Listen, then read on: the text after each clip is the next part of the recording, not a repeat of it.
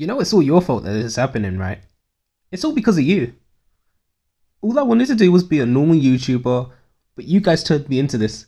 Now I'm a cute little anime girl, and I'm loving it. I freaking love it. This is the best thing I have ever done for my channel. Being a cute little anime girl, yeah, this is what I've wanted all my life. Yeah, the mouth doesn't work properly and it barely moves, but this this is the peak of my channel right now. If you are looking for better quality, it is not happening. This is it. If you don't want the cute anime girl, you can just get off my channel. I love this thing. Look, it heads its head, look, it moves sometimes. This is fantastic, man. And all of this just so I can tell you that I finally platinum Little Witch Academia, a game that's absolutely garbage, but I did it anyway because I love the show that much. So yeah, I basically spoiled the whole review for you, but hey, if you're not looking for a game, if you're not looking to be spoiled, well, here you are. You found this viewer review. There. See, I'm not even going to cut that out because it's just so natural when you're an anime girl. You just make those mistakes. But anyway, Little Witch Academia Chamber of Time, a really bad PS4 game that was made by the same people who apparently made Kill la Kill IF.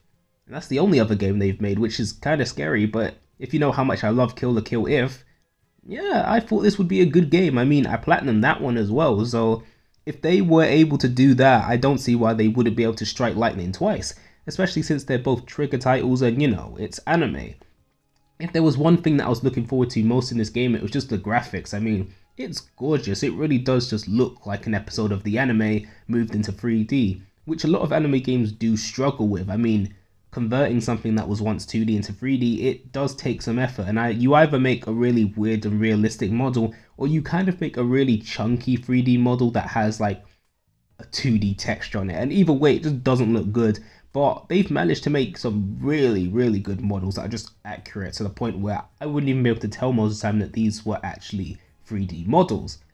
But everything else about this game falls apart.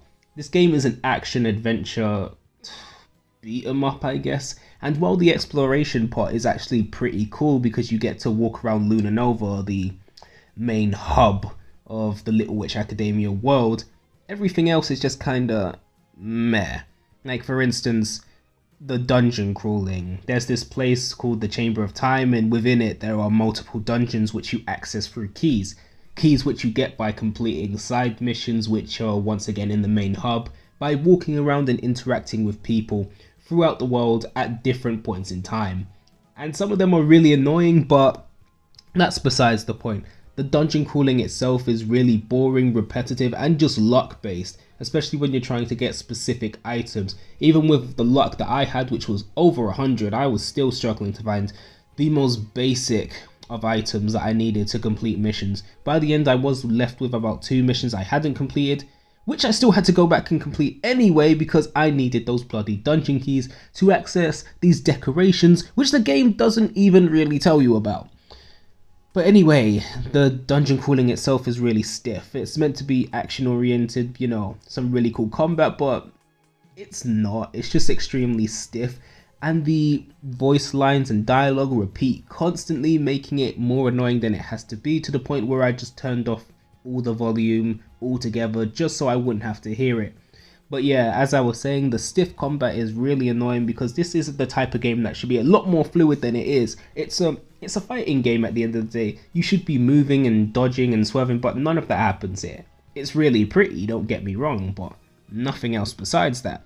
And all the characters, the way they play makes them all kind of like zoners in a way, where they have to attack from a distance. The only character that I found satisfying to play in the least was Amanda because I felt like her button inputs actually mattered because she did hand-to-hand combat and it was really cool and flashy, which the other characters don't manage to do. So basically we have one good character and that's about it. But to complete the whole game and get all the trophies, you have to use every single character, which did make the game a bit of a drag. But again, the highlight of this game was the fact that you could explore Luna Nova which is cool, but uh, I don't know. It's just it's cool the first time, you know, when you're nostalgic for it and there's nothing else to do. And some of the side missions are really cool because they give context to parts of the show you wouldn't have got before. Since if you haven't noticed, we are not getting a season 2 no matter how much you think we are, it's just not happening. The most we've had from the Little Witch Academia franchise at this point is a crappy VR game, and I'm sorry, but it is. It's broom racing and it looks terrible, and it's been in development for how long? And nobody's funding it. Let's be honest, none of you are giving Kickstarter money for that. Nobody cares about it. We all just want a season two or a better game. Nobody asked for a VR experience. So there's pretty much nothing to this game. Just walking around and finding missions, being at the right place at the right time, and then grinding in the dungeons just to get specific items, just so you can complete one mission it's not worth it. I wouldn't recommend it to anyone. The only reason I completed it is because at that point it was like, you know what? I'm so far into this game, I might as well just finish it. Just because, you know, I'm already here, let's just finish off this game and make it at least seem worth my while. So that's the only reason I completed it. I didn't feel satisfied by the end. I didn't feel any sense of joy. The only thing that I liked was that at the end they played the Little Witch Academia theme, the first one. So hey, that was that was something. But I wouldn't recommend this game to anyone unless you're a big fan of Little Witch Academia and you just really want some context to things that happen within the show because uh, once again, we are not getting a season 2.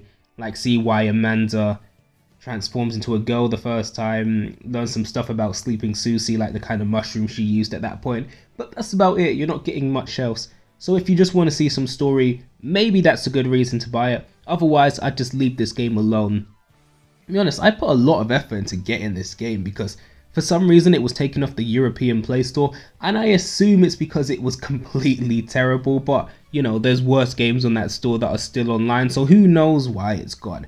But it is gone, and I had to go through the trouble of getting an American account and buying it that way.